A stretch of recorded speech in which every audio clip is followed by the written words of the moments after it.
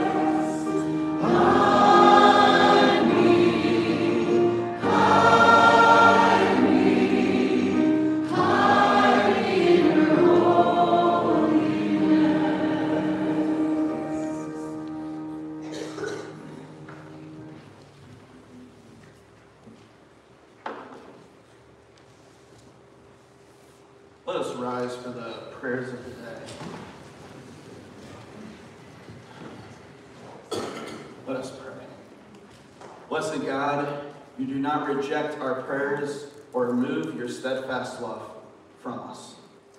Hear us now and answer us in your love. Heavenly Father, you invite us to freely come and hear your word. Bless and increase our faith. Lord of all, you make known the good news of peace through our Savior, Jesus Christ. Bless and direct the work of our missionaries, that in every nation there will be people who choose you. Almighty Father, bless the leaders of our nation and our communities. Prompt them to serve wisely for our good. Lord, the giver of all that is good, Grant your healing and support to all who are in sorrow or need, sickness, or adversity. Give them also the gift of your grace, so that they may endure your trials in confidence. Now, Lord, hear our continued prayers, both in silence and aloud. Lord, I just uh, lift up Thanksgiving that uh, my grandmother was released from the hospital yesterday. Gracious Lord, we give you thanks that Trish Shankin, in the midst of her cancer journey, a testament to your healing, is here today. And Lord, we ask that uh, you surround Paul Closius, who is hospitalized with uh, high blood sugar. Uh, surround him in grace as they have moved to uh, assisted living. Uh, and Lord, be with Jim Gardner, uh, whose body grows more and more frail. Lord, pray for Pastor Gary Coble and his wife, Hope, uh, as they mourn the death of their grandson last night in a uh, motorcycle accident.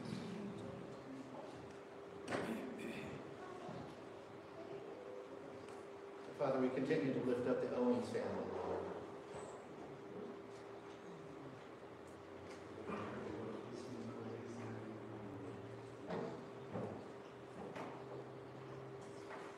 I lift up my daughter on Thursday who's defending her dissertation for her doctorate.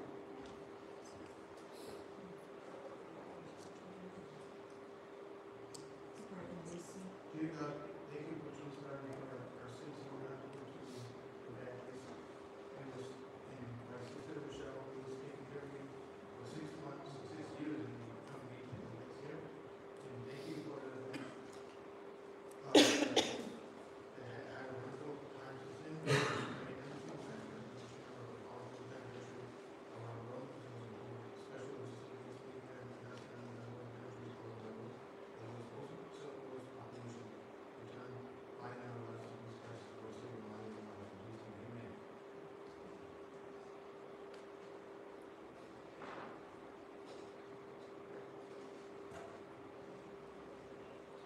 Into your hands, O Lord, we commend from whom we all pray, trusting in your mercy through our Lord and Savior, Jesus Christ. Amen. May you be seated.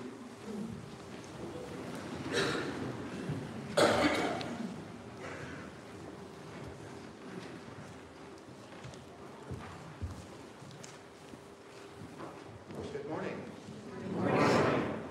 Our first lesson is from 1 John chapter 3, beginning with the first verse.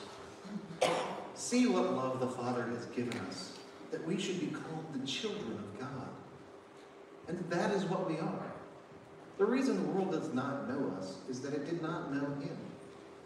Beloved, we are God's children now. What we will be has not yet been revealed. What we do know is this when he is revealed, we will be like him, for we will see him as he is. And all who have this hope in him purify themselves, just as he is pure. Everyone who commits sin is guilty of lawlessness. Sin is lawlessness. You know that he was revealed to take away sins, and in him there is no sin. No one who abides, abides in him sins. No one who sins has either seen him or known him. Little children, let no one deceive you. Everyone who does what is right is righteous, just as he is righteous. This is the word of the Lord. Thanks be to God. Our second lesson is taken from Psalm 4 and will be read responsively. Answer me when I call, O God of my right. You gave me room when I was in distress. Be gracious to me and hear my prayer. How long, you people, shall my honor suffer shame? How long will you love vain words and seek after lies? But know that the Lord has set apart the faithful for himself. The Lord hears when I call to him. When you are disturbed, do not sin. Honor it on your beds and be silent. Offer right sacrifices. There are many who say, Oh, that we might see some good. Let the light of your face shine on us, O Lord. You have put gladness in my heart. More than in your brain. I will both lie down and sleep in peace. For you alone, O Lord, Make me lie down save me. This is the word of the Lord. Thanks be to God. As we continue to worship God with our tithes and other offerings, let us pray. Most merciful God, We offer with joy and thanksgiving what you have first given us, ourselves, our time, and our possessions, signs of your gracious love. Receive them for the sake of him who offered himself for us, Jesus Christ our Lord. Amen. please pass the red, red, fin- see the word, friendship. That's a great word. Please pass the red friendship pads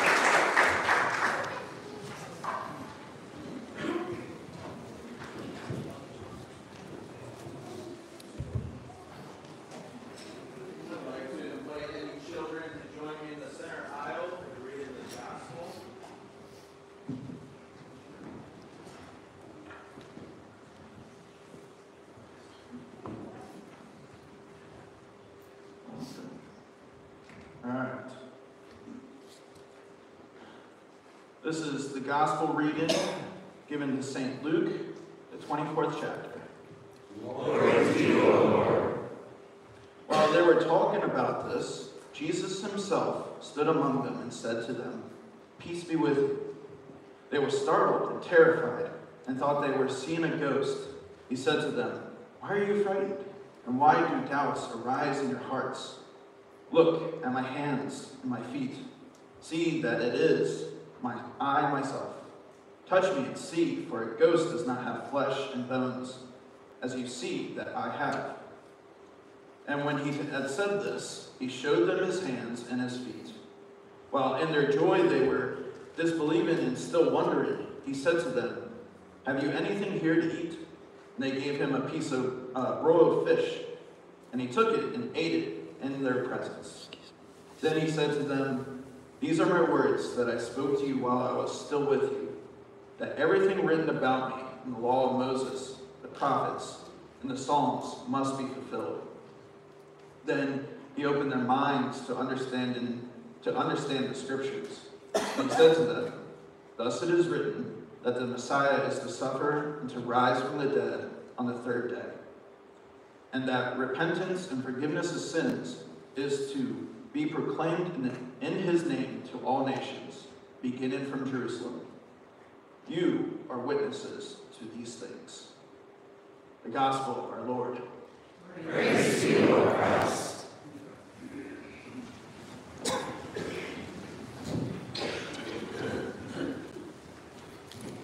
Well, good morning. I have the easy job this morning. I get to introduce a friend, Pastor Mike Bradley. And so let me just tell a little bit. You can stop me if I start telling any of the stories uh, that you have yesterday. He is a, uh, the, this auspicious title, as you talked about yesterday, the service coordinator for Lutheran congregations in Mission for Christ. My simpler way of saying that is he is the head of our denomination. Uh, it is a thousand Lutheran churches in 16 countries, and we are blessed to have him here. Yesterday, he led the Holy Spirit Conference, and he stopped just short of calling us to be Lutheran charismatics. so, uh, but essentially, what he was saying was uh, we don't want to be the stereotype of some Lutherans who are the frozen chosen. And we don't want to be the stereotype of charismatics. He said his wife went forward once for a charismatic prayer, and it was the kind where they push on your head and offer healing. And the pastor did that, pushed her back, and tripped her intentionally in order to affect that sense. That's not what he was calling us to.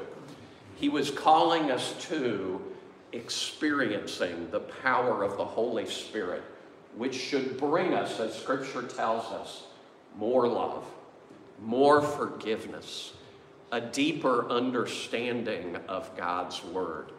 All of those wonderful fruits of the Spirit love, joy, peace, patience, kindness, generosity, faithfulness, gentleness, and self control. And don't we want all of those things in our lives? So, we are members of Lutheran congregations and Mission for Christ, and he'll probably tell you a little bit about that, but each of those words is significant. Lutheran, congregations, this is where we are led, and uh, mission, that is what we are empowered to do, and it's all for Christ. And I loved last night, I was listening to Ann Lashley talking last night, and she was celebrating the blessings that have come to Spirit of Joy since joining Lutheran congregations and Mission for Christ. And one of the greatest things was because we are not a hierarchical denomination, uh, and we would call it even an association of churches. Because we are not hierarchical, the Association of Churches said, we don't want uh, your money. Uh, we don't want to take your money and do ministry on your behalf. We want to empower you to do ministry. And something unleashed in a new way in Spirit of Joy when we joined Lutheran Congregations in Mission for Christ. You probably know that we tithe immediately 10% of all that we have. Directly and indirectly, we give away 25%, which is their whole goal. Be a congregation, hands on, go out, do ministry. And that is what has been unleashed uh, in this congregation in a powerful way. So I'd like to invite Mike Bradley, our friend here, to come and join me. Uh, are you going to tell some of your story, or can I, you want me to tell it in just a second? You so, can go ahead and tell it. so he started in the Air Force. He uh, went into a publishing type of job, was making $100,000, a six figure income, back in the 80s when $100,000 bought more than groceries. and he felt the call of God to leave that, go and begin life as a youth minister uh, in a church that had four youth. Yeah. And his father thought he was crazy. Uh, and you'll find out he is. But, but in his life and ministry, uh, he has gone from youth director to pastor to seminary president, and now uh, is our friend uh, leading this association of churches. Mike, may God bless you and keep you, and thank you for coming to us today. Thanks, Pastor.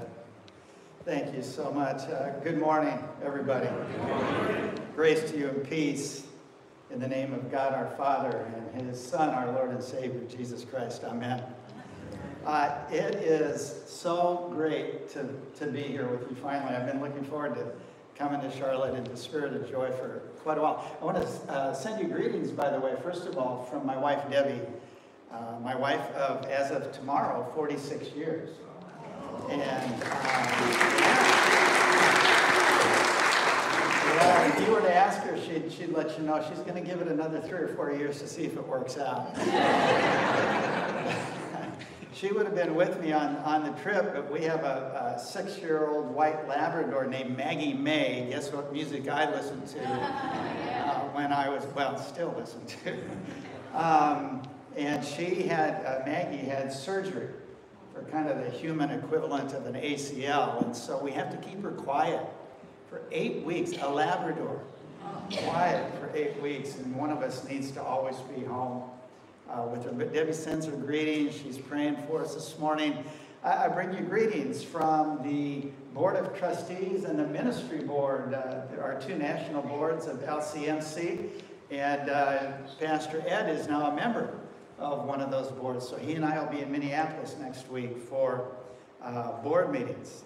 So greetings from those boards. Um, I have to say, before I forget, choir, thank you. I, I don't get to hear as many choirs these days as I used to. And you were awesome.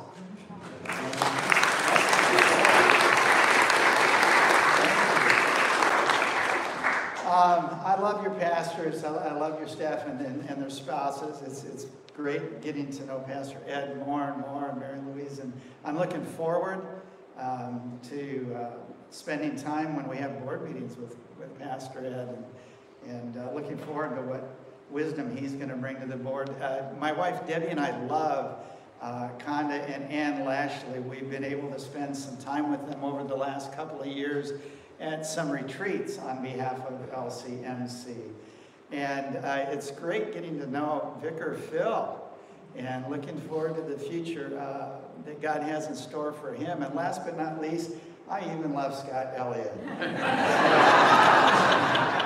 and, and, and, and, and Lindsay and, and Scott way overachieved when he got married. So, so there you go. Um, you have something special here, Spirit of Joy. Uh, I, want, I want to say that today before I forget. You have something very special here as a congregation. And I, I know you're a gathering of sinner saints. And I know that there's human stuff that probably happens from time to time. But there is something special here. Um, going along with what I want to preach on to, today, what's in the air makes a difference. There's something special in the air here. Uh, there's something when I, when I walk in the doors uh, of this building that I breathe in that's, uh, that's special and not to be taken uh, for granted. You're one of the few churches. Now, I, I travel all over the United States and I travel overseas. This next year I'll be headed to Madagascar, I'll be headed to Brazil. Uh, I'll have to suffer for Jesus in Norway and Sweden. And uh, um, you are one of the few congregations I've, I've stepped foot in their building and found out you live out your name. There is a spirit of joy in this place, and thank you for that. I really appreciate that, and I'm sure the surrounding community does also. Um, I'm, I'm honored to be asked to share, excuse me, a word with you today, and I've entitled it, What's in the Air Makes a Difference. It's been said uh, that if we don't affect what's in the world, what's in the world will affect us. And I think in the same way, we could say if we don't affect what's in the air, what's in the air is going to affect us. The Lord first began to speak to me about this in July of 2020. Uh, I went backpacking in the Bighorn Mountains with my children and uh, some of my children and my son-in-law. I should be quick to say, by the way, Debbie and I raised our five children, four boys and a girl, in Rapid City, South Dakota, in the Black Hills. And so we grew up, they grew up, and I got the, the blessing of going on backpacking trips with them and fly fishing, and, and uh, they went rock climbing. I did not. I am I'm so afraid of heights that I married a short woman. Do not tell my wife I said that.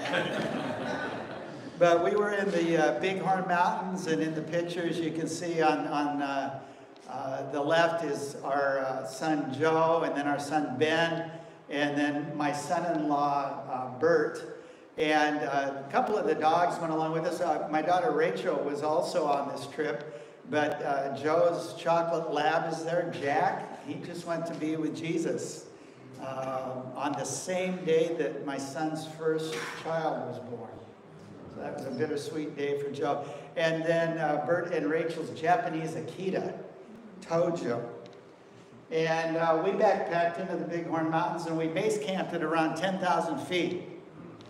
And um, uh, we uh, actually, we, we uh, yeah, we base camped at 10,000, passing Three Sisters Lakes on the way up.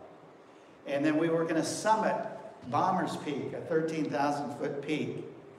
And one of my favorite times during the day was crawling out of my small uh, tent.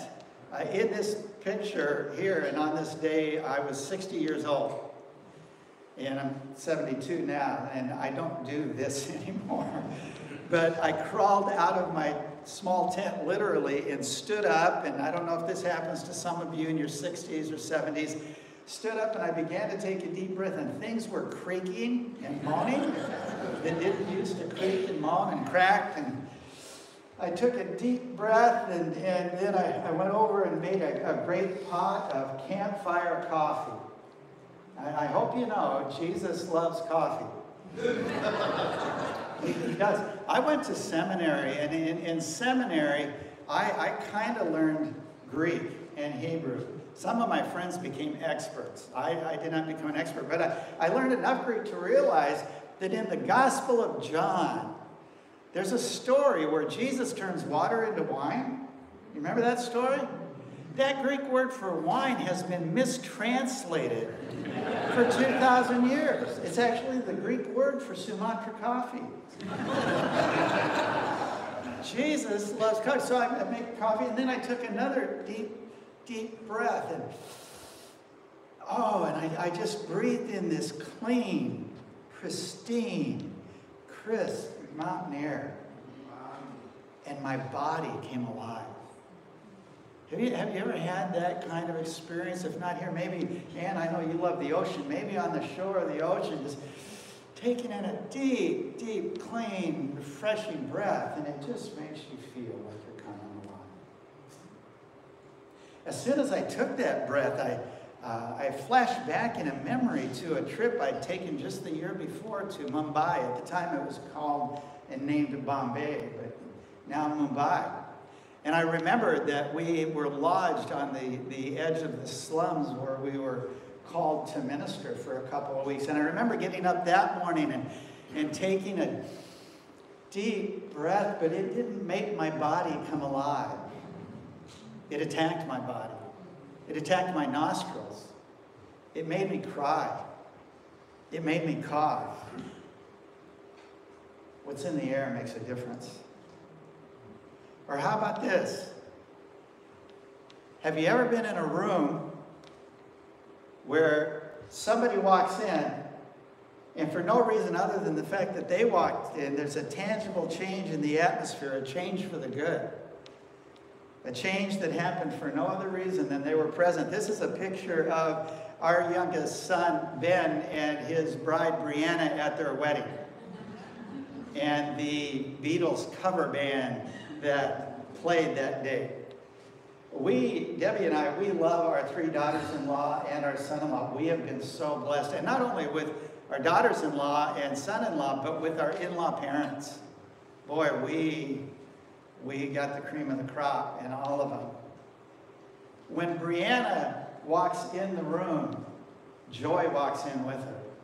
You can probably see that from this picture. And the atmosphere in the room absolutely changes. But have you ever had the opposite experience? You're in a meeting of some sort. Maybe you're at a family reunion, you're at a meeting here in church, or a meeting in your workplace, or in your school, or wherever it might be, and somebody walks in the room, and the atmosphere in the room changes, but not for the better. The atmosphere changes because anger walked in the room with them. The atmosphere changes because control walked in the room with them. The atmosphere changes because judgment and condemnation walked in with them. What's in the air makes a difference. You see, in the same way that the atmosphere can impact us physically in helpful or harmful ways, what we breathe in emotionally, relationally, and spiritually can impact us too. There, there's an atmosphere, and that atmosphere is here, by the way. And I'm not saying that just because I'm here with you these days. I'm saying it because I'm breathing it in. I'm even breathing it in this morning. I breathed it in yesterday when we gathered for the seminar. There's an atmosphere that can help us thrive and flourish as followers of Christ. And there's an atmosphere that, on the other hand, can weaken and quench our faith. There's an atmosphere that's crisp and clean, and, and it's a sweet aroma. As people breathe it in, they're drawn to Jesus. And in the same way, there's an atmosphere that's foul and toxic. And it can drive Christian and non Christian alike away from everything that God has for them. And either atmosphere can exist in a Christian church. The emotional, relational, and spiritual atmosphere in which we live and breathe is the context in which we can best experience God's work of renewing us, transforming us, and empowering us for an alternate way of living, a kingdom of God way of living here and now. Jesus was an atmospheric change agent. The work of effecting a change in the atmosphere happened in every room he set foot in, every place he set foot in, along the journey with the disciples, author and pastor Graham Sellers has a, a wonderful book entitled The Dangerous Kind, and he writes what you see up on the screen. It seems all Jesus had to do was make an appearance, and entire towns turned upside down. His presence was an atmospheric event, producing shifts in people's experience, perceptions, and understanding. The presence and ministry of Jesus unleashed an atmospheric shift. That's what, I'm going to stop there for just a minute. That's what you're doing here in Matthews and Charlotte and the surrounding areas. Not just here in your building. When you leave here, everywhere you're setting foot, some of you are setting foot in schools, some of you are setting foot in civic buildings, some of you are setting foot in small businesses, on athletic fields, and on and on and on. And you're affecting the atmosphere here in North Carolina. You're affecting the atmosphere when you pray together this morning in people's lives and around the world. Well, well, Graham writes that Jesus unleashed this atmospheric shift, and that's what Spirit of Joy is doing. You're unleashing an atmospheric shift everywhere you go, and everywhere and for whomever you're praying for. And Jesus unleashed an atmospheric shift flowing from his intimacy with the Father Wherever he showed up, wherever he spoke, whatever he did, he was constantly setting off seismic sensors in the unseen realms. I love that. Graham turns a nice phrase, doesn't he? Spirit of joy, that's what you're doing. You're, you're setting off seismic sensors in the unseen realms. I mean, this, this quote could be about you. When, when he preached, demons cried out in defiance. When he healed, devils scrambled for cover. When he released those trapped in bondage to dark powers, evil spirits recoiled in dismay. In Mark chapter 5, verse 25 through 29, we see Jesus releasing faith into the air. And it was true for the woman who suffered with the issue of bleeding for 12 years. She breathed in, she breathed in that air of faith and healing and freedom came to her as she came to Jesus with an expectant heart. Wherever Jesus was present, the authority and power of heaven were released in the atmosphere and affected change.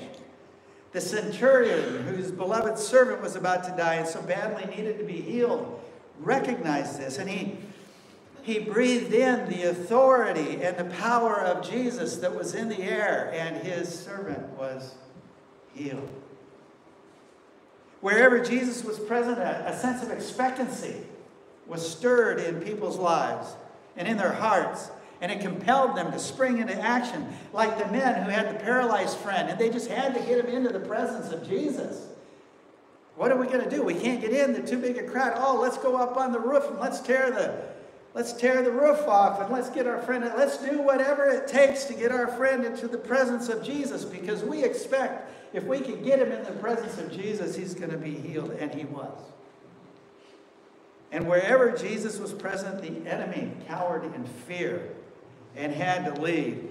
The first time Jesus began to preach in Mark chapter 1, demons began to shout up.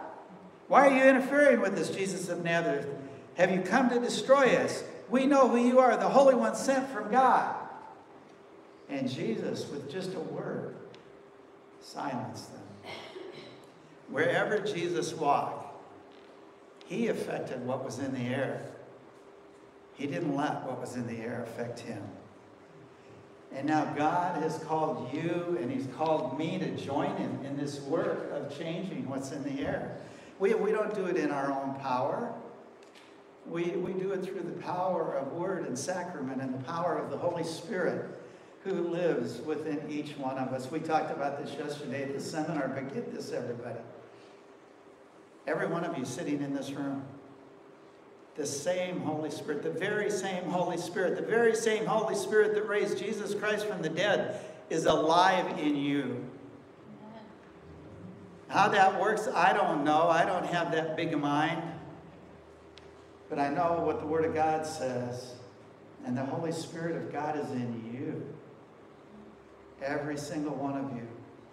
And because of that, together in the power of the Spirit, we can become atmospheric change agents. And we can create and sustain atmospheres where souls are being drawn to Jesus as Savior and Lord.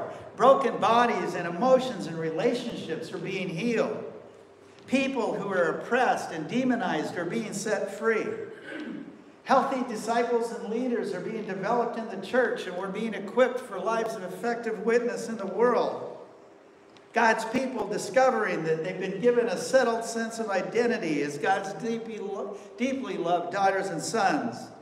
An atmosphere that helps God's people be filled with a fresh awareness of the Holy Spirit's presence, who is within us. And an atmosphere in which the forgotten, the marginalized, and the disenfranchised are being welcomed and cared for in the body of Christ. These are just some of the things that can be experienced in a healthy emotional, relational, and spiritual atmosphere. What's in the air makes a difference. We can be those atmospheric change agents. Wherever we set foot, whatever room we walk into, we too can affect what's in the air rather than letting what's in the air affect us because this same Holy Spirit who was in Jesus is in you and me. It, it causes me, it gives me pause and causes me to ask a question well, how can I partner with Jesus in this work? It's Jesus who is at work doing this. But he calls us to cooperate. He calls us to partner with him. And how can we do that? And there's multiple answers to that, but one of the answers I want to share with you this morning is we can do that by beginning to acknowledge that while it's most certainly true that we can affect a shift in the atmosphere for the good, it's also most certainly true that we can pollute the air we can pollute the atmosphere. We pollute the air physically all the time, yeah? We pollute the air with our factories and our cars and our trucks. And I say that as the owner of a Ford F-350. Got to have some little toy to pull my 40-foot fifth wheel. But we pollute the air. I pollute the air physically. Is it any stretch of the imagination then to realize that we can also pollute the air emotionally, relationally, and physically? This is one place then where I am so thankful for our Lutheran theological framework. This is where I really appreciate one of our Lutheran distinctives uh, that is so often included in our historic liturgical services and was included in our service today, and that's the order for confession and forgiveness. I, I had uh, someone, I was, I was, preaching at Trinity Lutheran Church in Rapid City, South Dakota back in the day, and I, I'd mentioned something like that, and, and he had come up and said, I'm, I'm with you, Pastor Mike. I, I agree. I, I, I need that order of confession and forgiveness every week. And I said, Well, that's good for you. I need it every day.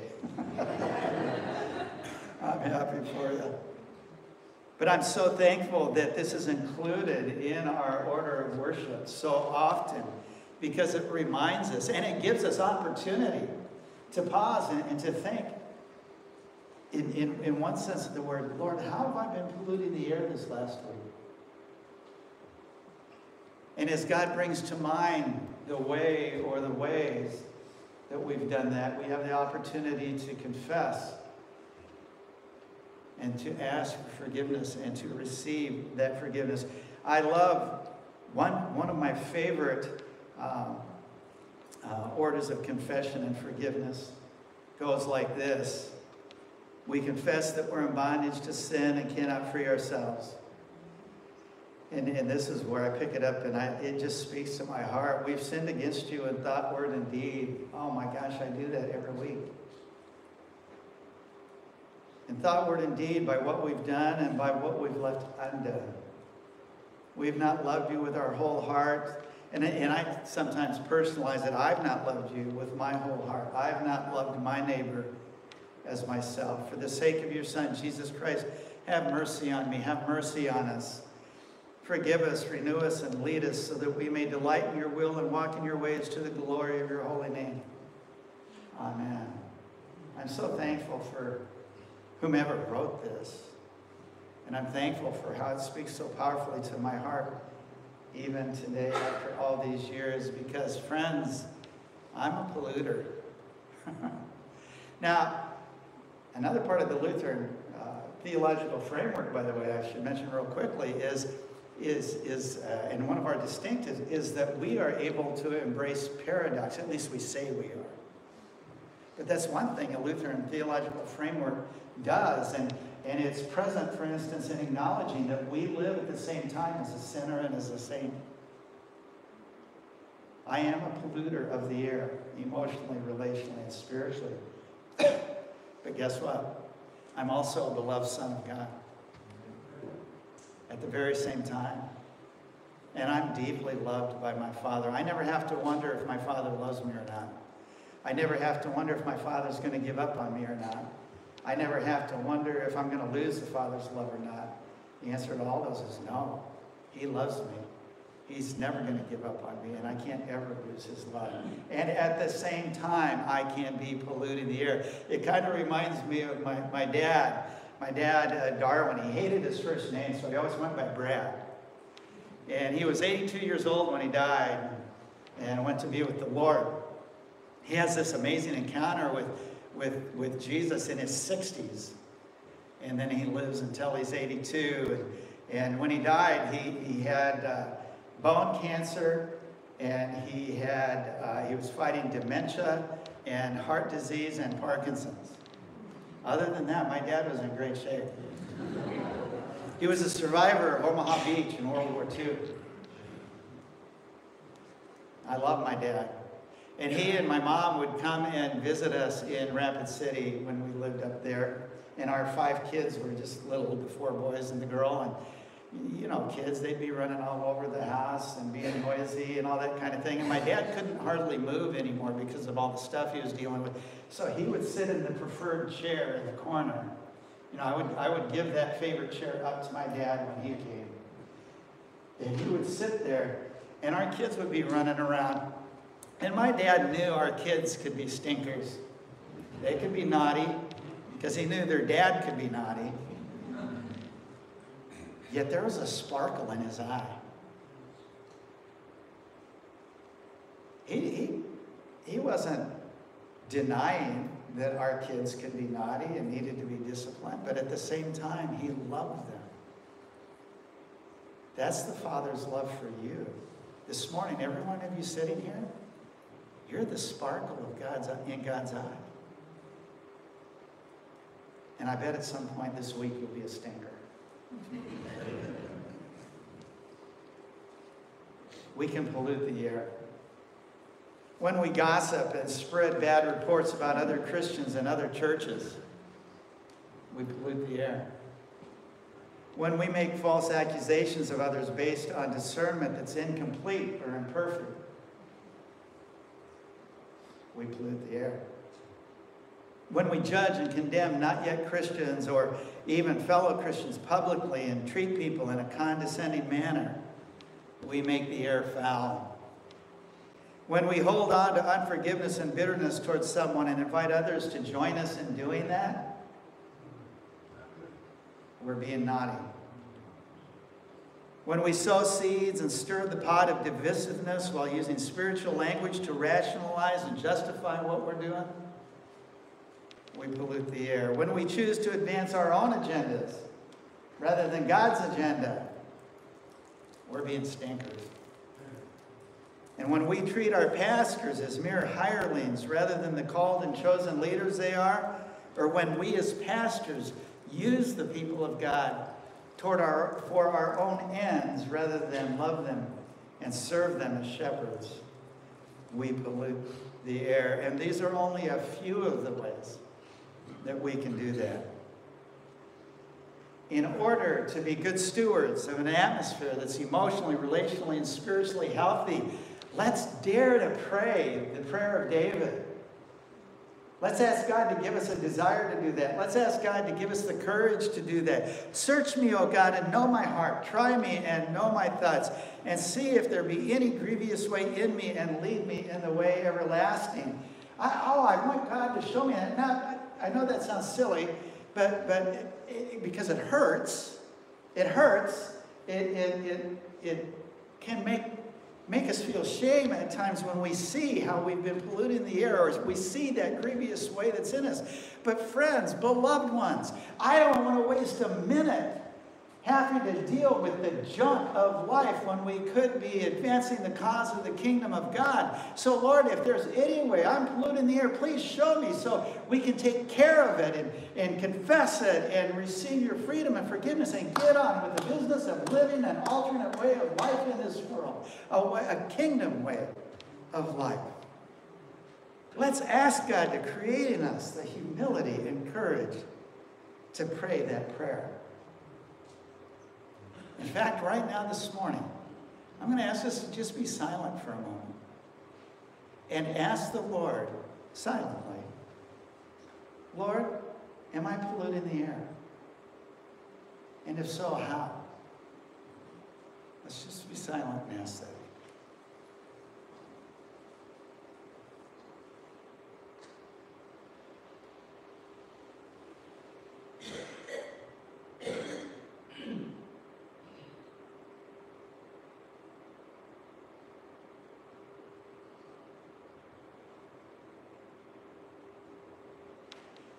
For some of you, perhaps many of you, something came to mind.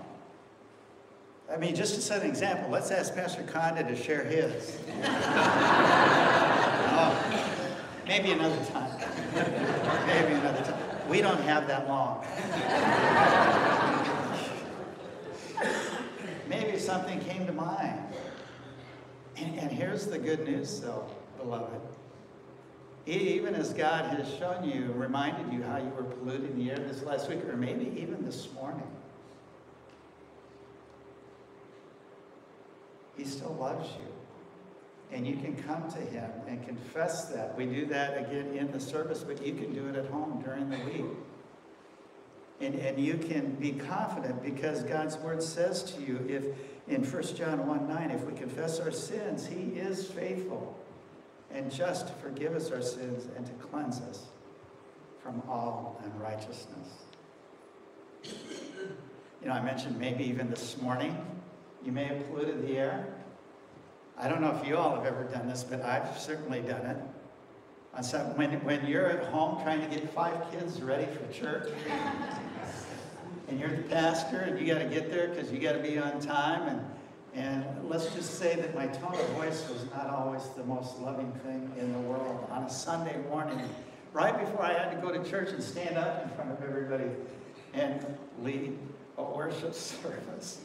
But thank goodness for the gift of confession and forgiveness. I remember asking our oldest son, Andy, at one point, he was probably about 10, and I, I think I had been naughty and I had yelled at him or something to get ready to go to church, and I, thought, oh, can't do that. Andy, come here, son. And, you know, when I just yelled at you, Dad was wrong. Uh, that just wasn't right. Would you please forgive me? And Eddie, he was a uh, redhead with freckles. And he said, Oh, Dad, I always forgive you when you act stupid.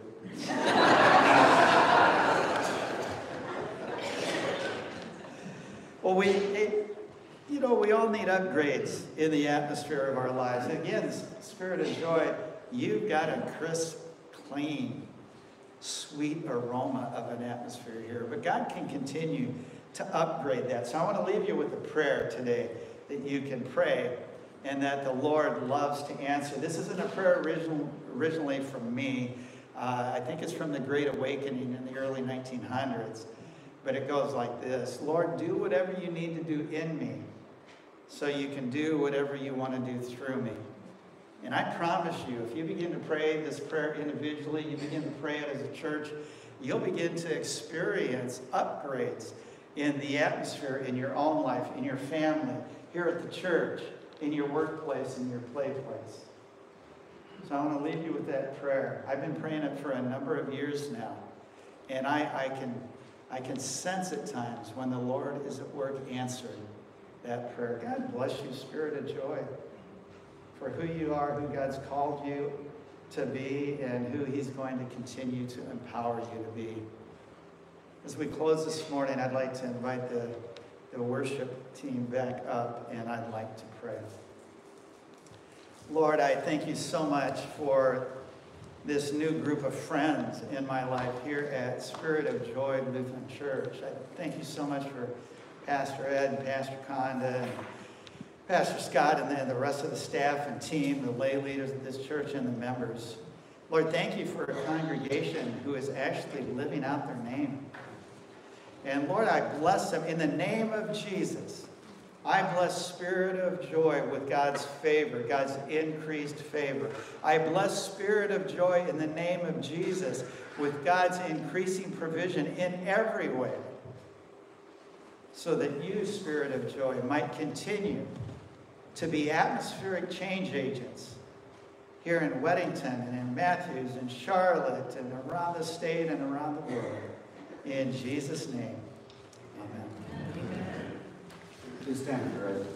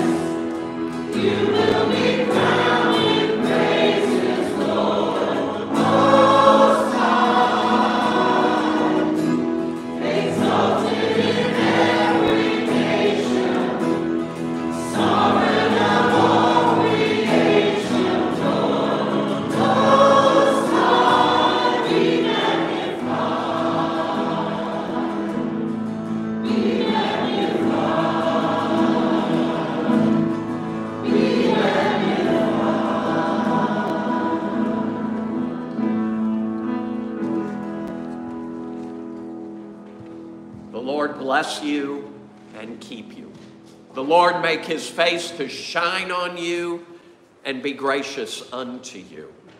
The Lord look upon you with favor and give you peace. Amen. Celebrations today. This week, it's almost like most all of them are at this service. And so uh, the first two are not Karen Weiner and Mike Alissi, happy birthday. But Chris Whalen back here, happy birthday. Andy Stolmack and Vanita Kronk. both Pastor Ann and Conda. Pastor Ann We promoted you again two days in a row. Ann's comes first, but Ann and Conda, Anaconda. Uh, we have uh, the Purser family, uh, Luna and Jack, have their birthdays this week. Debbie Giblin, Greg Arcos over here somewhere. And Teresa Gaffrey. Happy birthday to you all. Anniversaries for Tom and Tracy Welch. And uh, my mom and dad's, I better figure this out this week, I think it's 65.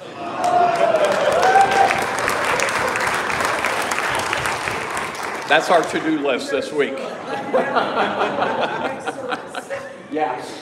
Well, they'll confirm it for me. So, uh, so a number of announcements. Uh, next week's the barbecue. And so lots of good things. I've been hearing about eight different people cooking chicken in addition to the pork. Uh, it is also Craft Fair Day. Is that the one you want to talk about? Nope. I'll ask you after everyone.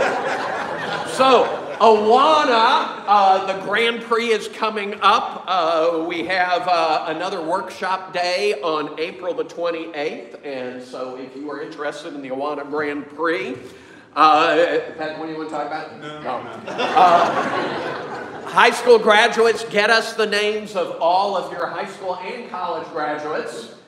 That's not it. That's not it. You're not going to be talking about the blood drive, but that is coming up on Tuesday, May 21st.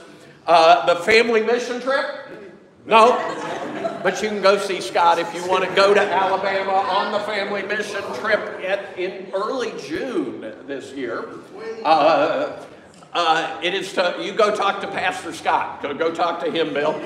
Uh, so VBS is uh, coming up July 22 through 26. No.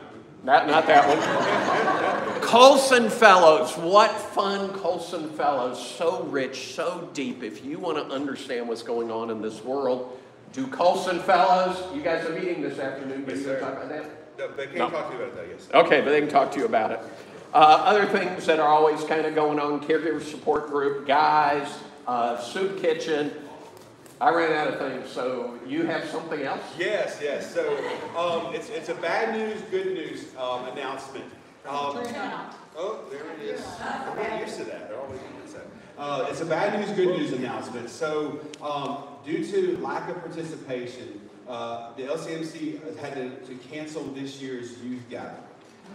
But, but it's always awesome. Within two days, um, me and uh, three or four other youth directors had already talked, and we are still going to do an LCMC youth gathering that we're going to put together. Um, some of our students are going to help lead worship. Some of our people are going to help me speaking and leading games. So we're still going. We're still going to go to the Ark and then head out actually to Minnesota now um, to a, a Christian campground out there and do our own camp this year um, so we can still connect um, and be together. Um, I wanted to share that with the congregation because y'all had been so giving for that uh, um, trip for us to go out there to let you know that we're still going to be having a youth gathering. Um, it's just going to be, we're, going to put it together ourselves now. Um, and so be prayer, prayer for the team that's doing that, uh, prayer for our travels, for our experience at the Ark and uh, the experience there uh, at the campsite.